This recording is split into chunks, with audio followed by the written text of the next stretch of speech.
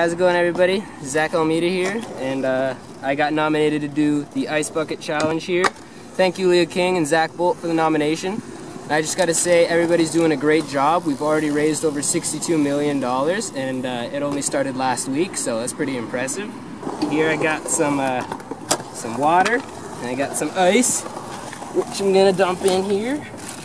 For those of you that don't know, ALS is this uh, disease which attacks nerve cells in the brain and the spinal cord, which eventually makes you uh, paralyzed in the end. It's kind of a sad disease, which makes me really grateful for skateboarding because I'm able to move around and have as much fun as I can.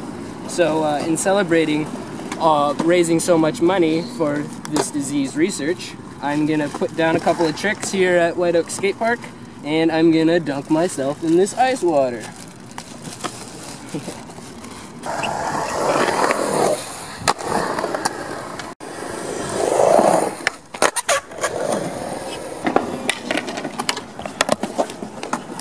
hard,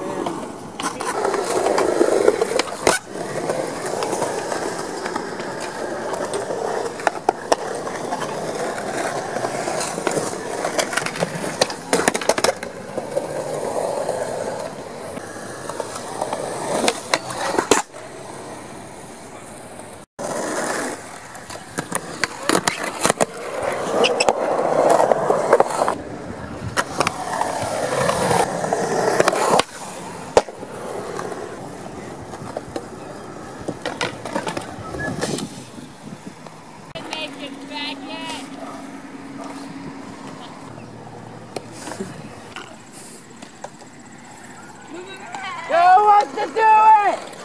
Okay. Drop it. All right, I nominate Manny Almeida, Mac Jameson, and uh, actually I didn't think about a third one. I guess we'll see.